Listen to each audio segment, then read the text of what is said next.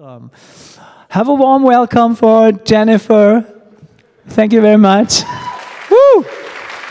Good morning.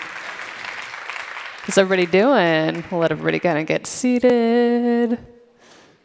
Sneak in the door awkwardly. All right, um, so let's get started talking about this tool called Pa11y. Has anybody heard of? Couple? Okay, awesome, awesome. Uh, so I want to say thank you to all the sponsors and organizers for putting on a conference like this. I don't know if you realize how much work actually goes into putting on conferences, but it's a lot. So say thank you to the sponsors for keeping the ticket prices reasonable, um, for making things right for the speakers, uh, and definitely hug your organizers. They put in a lot of unsung work to make this happen. Um, also MCs, yes. Uh, buy him a drink later. Um, a little bit about me. You can follow me on Twitter at like OMG it's FEDAY. I'm a JavaScript developer at a consulting company in the US called Bitovi. I do a lot of speaking, and I also, uh, when I'm home, brew kombucha. So a little bit about me. Uh, and then, as he mentioned, I'm from Kansas City, Missouri. It's actually in a different state. It's not in Kansas. It's not in Missouri. So that's where I am. So we can just get that question out of the way because I get it all the time. Uh, we're also most famous for our export Paul Rudd, who did not fly up Thanos' butt to win the movie? Avengers? Anybody? Okay, got a got a couple Avengers people in the crowd. Anyway, uh, one of the things that we were requested to do was pack a shirt, but I'm actually in Europe for three weeks doing a couple different conferences and could not fit all my shirts in a carry-on. Uh, so on my slide, this is the shirt I would have worn, which says, "Assume all women are technical and capable of breathing fire." And so it's a good shirt um, to wear at conferences to remind you that the women here might actually write code. So keep that in mind um, and try not to make us breathe fire. Yeah. Um, and I'll post a link to my slides at the end, but if you're interested in actually buying this shirt from Cotton Bureau, the link is there. Okay, moving on. Let's actually talk about accessibility and why you should care. Um, so when we start to look at accessibility and, the people that it affects, these are statistics based on Americans. And if we look at um, our whole population, uh, we only see a small part of, part of them as visually impaired. And you're like, okay, like if that many of my users can't see my website, do I really care? Um, but then when we look at hearing impaired Amer Americans in this case, um, we've still got a, a, significant significant part there that could have issues affecting their ability to use our websites and applications if you have some sort of audio content. Um, and then physically impaired, we have people who might have motor control issues or something going on where they can't read our websites. Uh, and when you start to put those numbers together, we are now looking at a significant part of a population that is unable to use your website. And so if you are trying to, you know, argue for this inside of your company, why you should do accessibility testing, why you should make your applications and website accessible, this is a large market share you're missing out on. At the end of the day, those are dollars your company is losing from people unable to use use your website. And so that can be a really helpful way to uh, get people at your company, especially business, to understand that accessibility is important and is something we need to be prioritizing in sprints. It's something that we need to be prioritizing as developers, as designers. Okay, so if you haven't heard this term a11y before, uh, it's shorthand for accessibility, which is a measure of a computer system's accessibility to all people, um, including those with disabilities or impairments. And this uh, this has something to do with both software and hardware. So not only the websites we're designing, but actual hard pieces that we're interacting with. Um, so if you're doing Arduinos or particle um, products or things like that, those are considerations as well. Uh, when we want to kind of understand what's going on with accessibility, there are several issues to be aware of. Um, first of all, visual impairments, and I feel like that's a really easy one to understand. We kind of can uh, tell when somebody is blind, they're not going to be able to interact with our website. Uh, color blindness is another thing to consider. Certain people have different levels of color blindness that affect foreground and background and what they're able to see. Uh, we actually have this really cool contraster contrast checker that you can use online. Um, oh, sad face. Okay, that's fine, my link didn't work. Um, I will fix that before I push these slides. But uh, you can actually use this tool, and so as you're going through and evaluating your websites for accessibility, uh, this is going to give you a contrast ratio, and so you can change the foreground and background color to get the results you need. So that can be really, really helpful. Uh, auditory impairments, things to consider. There are people with deafness or partial deafness. So if you're relying on video content, it's going to be really helpful to have audio, um, audio subtitles and that kind of thing. Uh, motor impairments are something I think we don't think about a lot as developers, um, but physical impairments. So people who actually have physical disabilities. I also like to joke new parents kind of fall into this category because they've got a baby in one arm, right, and they're trying to do everything with the other. Um, so it's really important to consider if somebody does not have full functionality of hand on mouse, hand on keyboard, keyboard to be able to use their website, your website, can they still do it?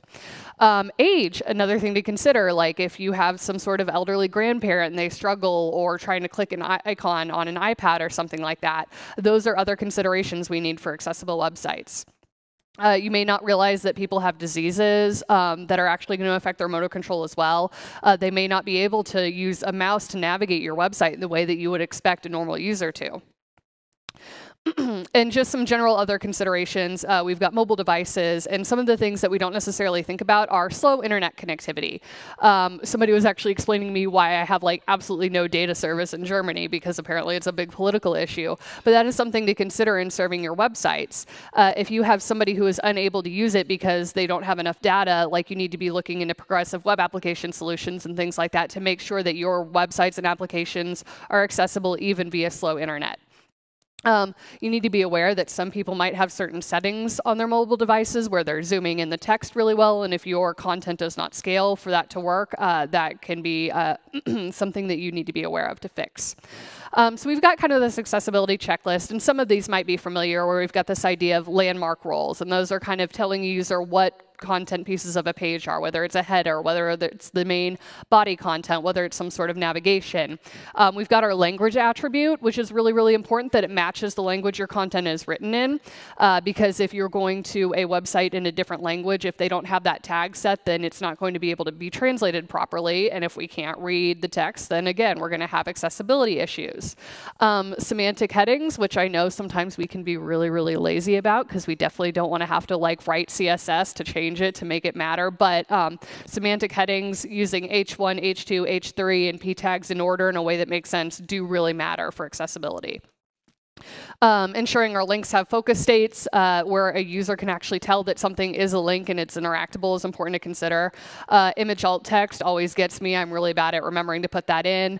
Um, making sure that our forms are accessible in a way that's expected. Like, I don't know if you've ever been operating a website and you try and hit the tab button because you're trying to get through fields really quick and they don't have their tab set up properly and it's just infuriating.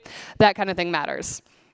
Um, as well as color contrast, the ability for a screen reader to be able to use your website, as well as um, uh, just a keyboard navigation to be able to do everything. Um, and these, these accessibility guidelines are governed by a couple different standards. Uh, the cool thing about Pa11y is that it covers a vast majority of these standards, and so we'll kind of talk through a couple of them to kind of um, understand exactly what Pa11y is going to be testing for so you have that context. Um, first of all, we've uh, got the Worldwide Consortium guidelines. Uh, they have the 2.1, which is updated as of June 5th, 2018. Um, so if you've been familiar with, but you didn't realize there's an update, this has a lot to do with um, mobile accessibility, um, content scaling, and things like that. Uh, but these entire guidelines are available online. Uh, but the first kind of key concept is we want to make sure that our content is perceivable. Uh, that means we've got text alternatives for non-text content. So if we've got an image, we want to make sure that we have some sort of alt text for what's going on. Um, we want alternatives for time-based media. We want to make sure that our content can be created or presented in different ways. So as we're scaling a page, that it's making sense.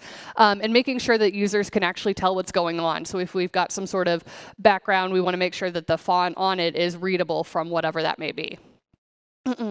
Uh, some of the newer standards talk about being adaptable. Uh, so when we talk about something like meaningful sequence, that means as we're scaling, as we're doing responsive design, that the content is still going to be laid out in a meaningful way that makes sense to a user. They're going to expect the navigation to be at the top and have some sort of accessible menu, that kind of thing.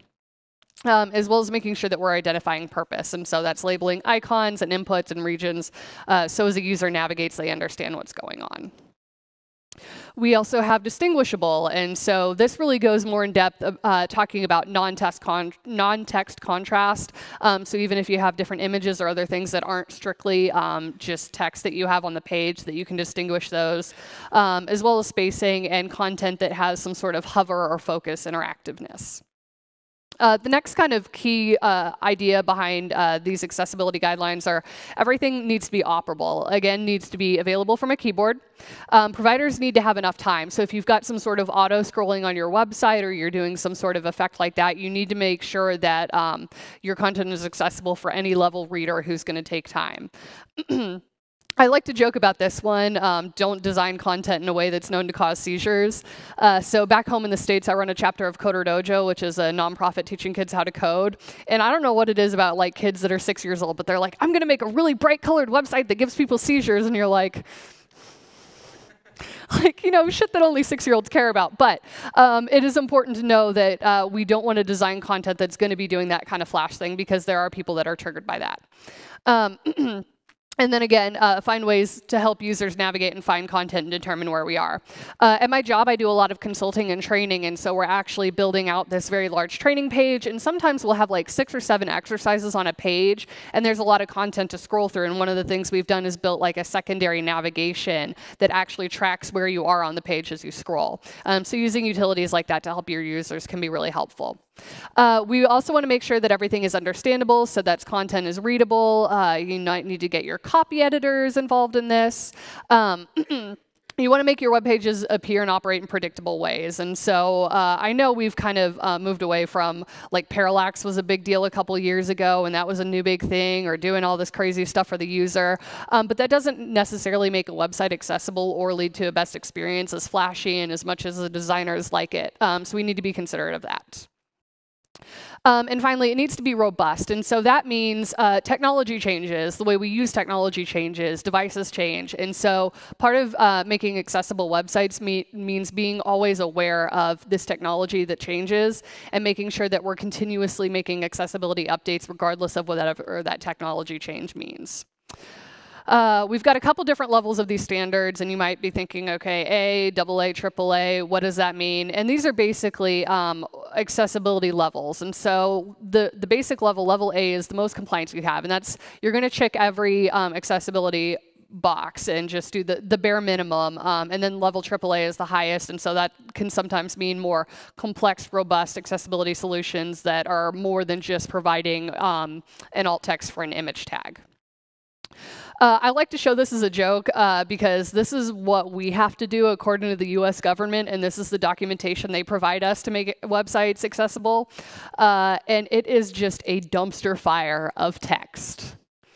It's like, what okay page shall be designed to avoid causing the screen to flicker with a frequency greater than two hertz and lower than like what? What? How do i ah what do i do with this? And i feel like uh, this is kind of a good example of why you don't see people implementing accessibility is because they are they go in and they're like all right let's make this accessible. And then they go in and they start reading the text and they're like, what the hell does this mean? Like, I don't, I don't understand. I already have to do this. I have to refactor this code. I haven't even like reviewed this pull request yet. I just, I've got too much other stuff on my plate to figure out how to decipher all this like mumbo jumbo legal crap. Uh, like, seriously, nobody has time for that. All right, so that is why I'm so excited about Pa11y. Uh, not the hero we need, but the hero we deserve. And the great thing is, it's going to catch all this stuff for us. It is smart enough to know and understand. Okay, well, technically, the people who wrote it are smart enough to know and understand these accessibility guidelines. Uh, and then we can use this tool to test all these different things and catch and figure out what errors we need to figure out. Um, but it's an automated accessibility testing PAL.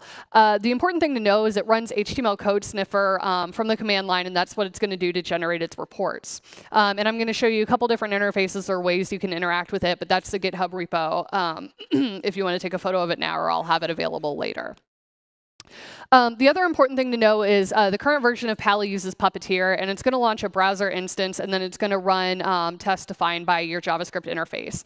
Um, so this is going to allow us to uh, crawl, you know, websites uh, that are built using Neos. We can crawl single-page applications, um, anything we want to do. And so the the important thing to keep in mind is like, yes, um, Pa11y runs accessibility tests for us, but all it is doing is launching Puppeteer and reading your page. And so sometimes I feel like people get hung up on that. So if you can think about that, that'll help you a lot.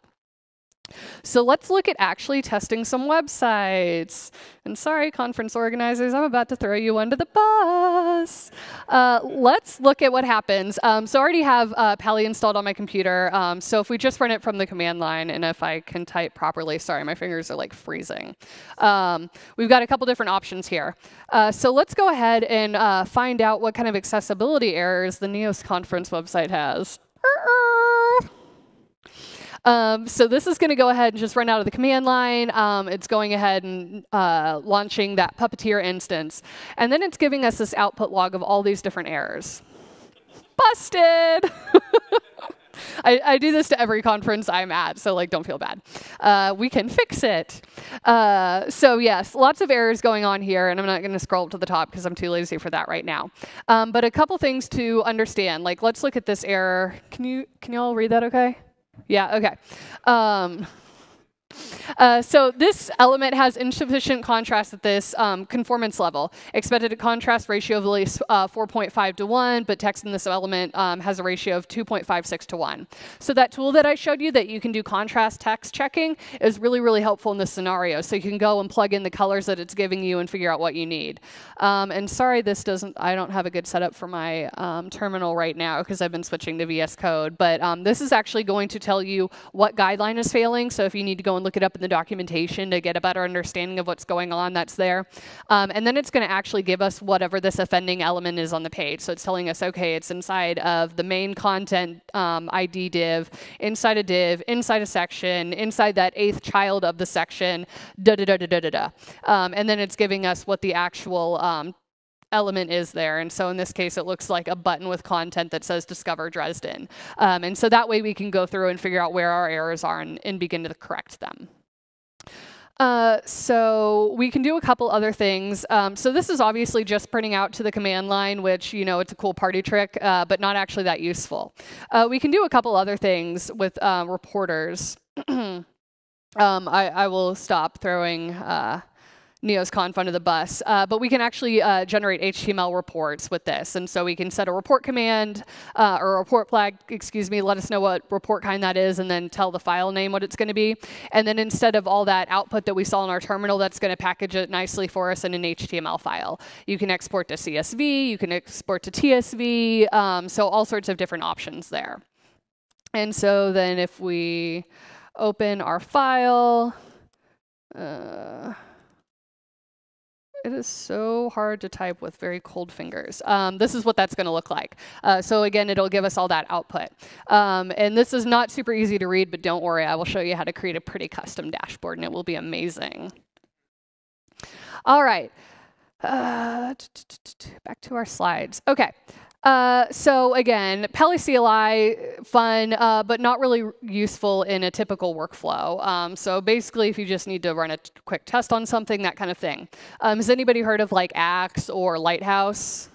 Yeah, okay, so kind of similar concept there where you're going to launch some sort of accessibility testing um, extension in your browser and get output there. That's about what CLI amounts to. Um, from the CLI, we can run an accessibility test against a URL. Like I showed you, we can use a reported output results to a file. Um, a couple other things we can do, we can um, choose whichever accessibility rule set. Like y'all aren't going to care about section 508 because that's a US thing, and so you don't need to see any errors regarding that. Um, I guess unless you're serving content that is somehow connected to the US government, and then you will care. But um, you can also choose to ignore certain warnings and notices. So if you only want to show like a certain error level, you can set that flag. Um, okay, uh, so uh, the CI interface uh, can do everything that the CLI can do, uh, but the cool thing about this is you can integrate it into your development workflow. And so if you want to integrate this with Travis um, CI or something like that, you can actually set a fail threshold of tests. So let's say you have five accessibility tests fail. You can stop the build and then not let that pass until you go through and uh, fix those accessibility issues. Um, so that can be really, really helpful for integrating into your workflow and actually making this a very useful tool. Uh, that output is going to look like this. We are going to have a uh, Pa11y CI file that lives in, you know, whatever directory that you are going to be um, running your tests from, or if you've got some sort of integrated build process, you would want to put it in there. Uh, the way to consider this is similar to how you would write end-to-end -end tests because um, you're going to be doing something very similar with a screen call, crawler. And so if you can kind of like mentally put that in that category um, as far as your testing and setup and automation goes, that's where that should live. Um, and then for your fail threshold, that is how you would define that um, when you're running this command. So if you've got like your Travis YAML file or something like that, you would just put this command in with whatever you determine your fail threshold to be um, and call that good. Okay, um, the most practical way I think is actually using the JavaScript interface, which is where we can write some really robust test files. Um, and this gives us a lot more um, ability to kind of uh, run more end-to-end like tests and make the changes that we need to happen in the browser to do all the accessibility testing we'll need.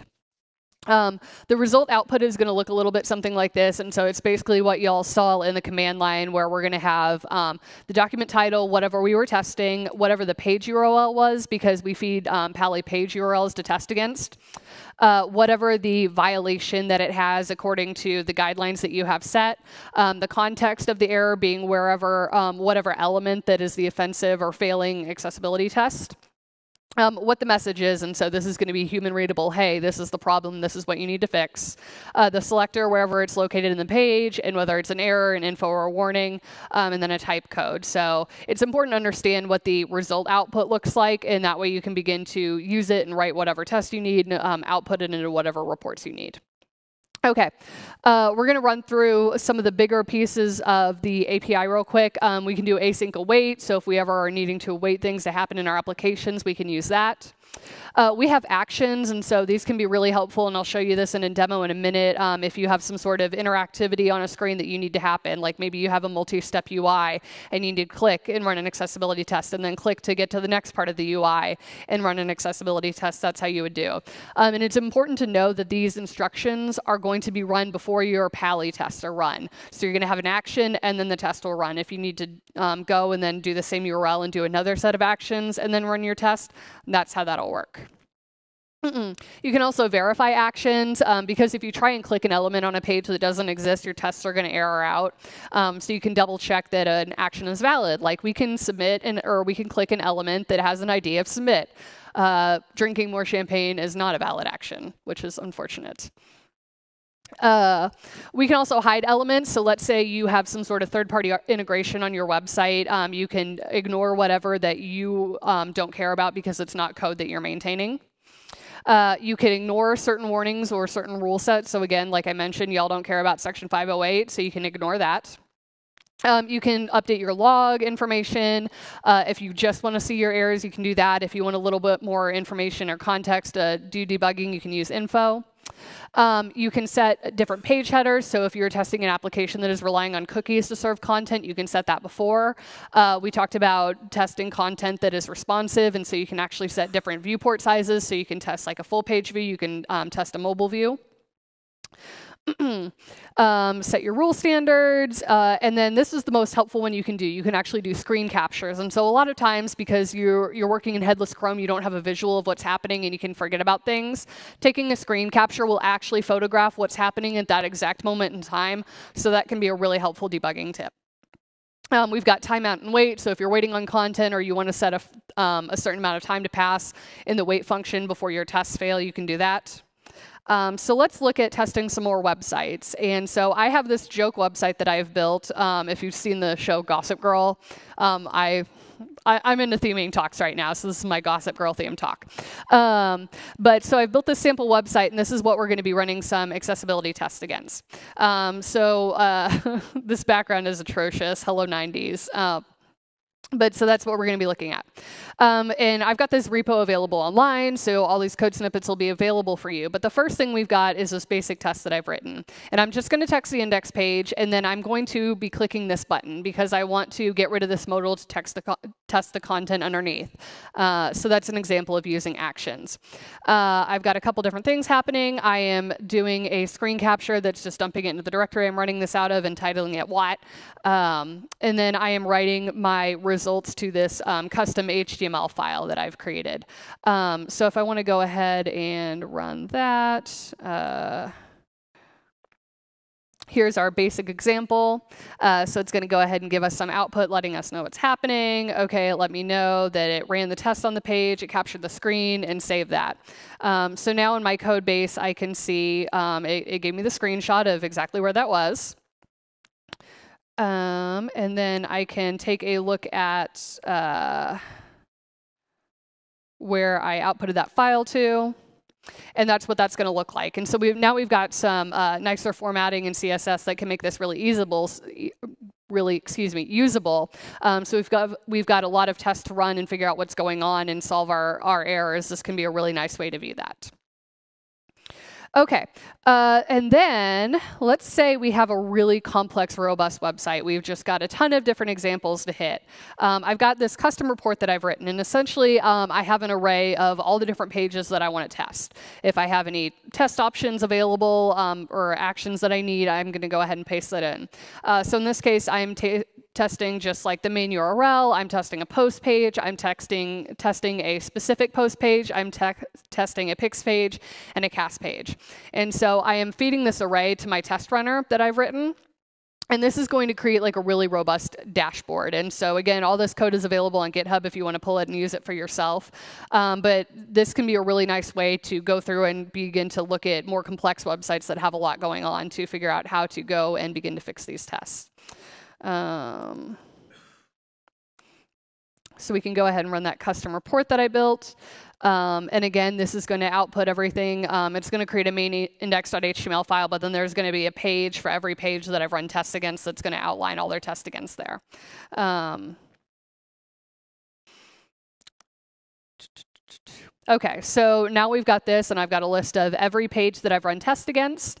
Um, I can click in, I can see whatever errors are failing in that test. I'm even giving myself a screenshot in case I don't remember what's happening.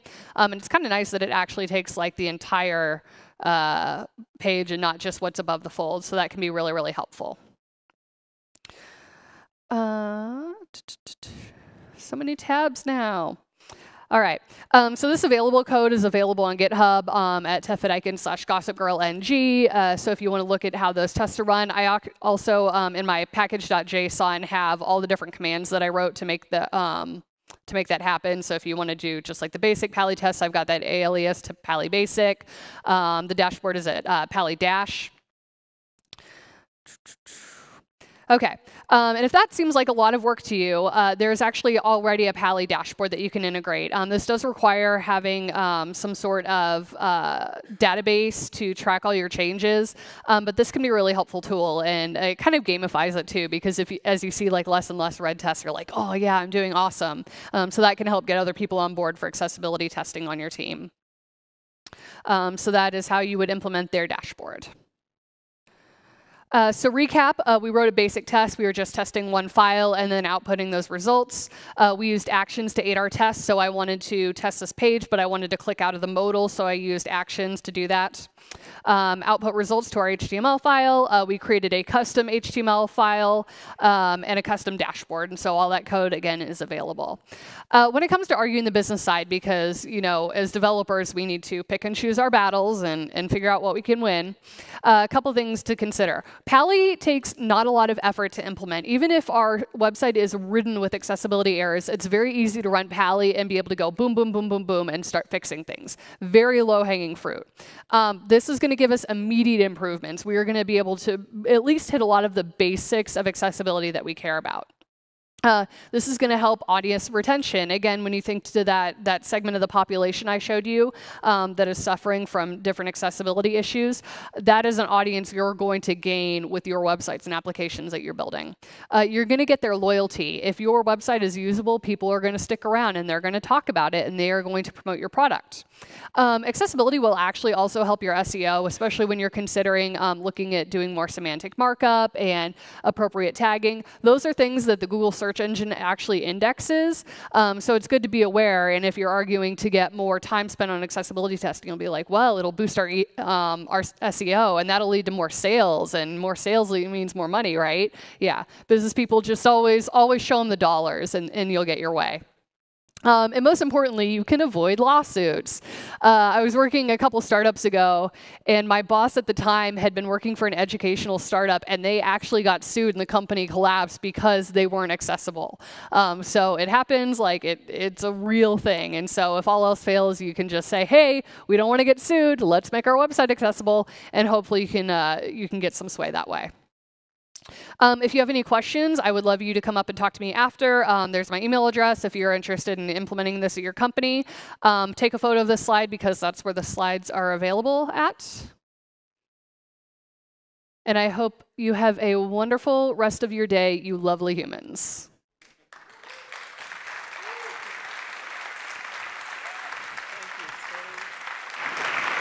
Thank you so very much. Yes. Thanks, Jennifer. That was one intense talk.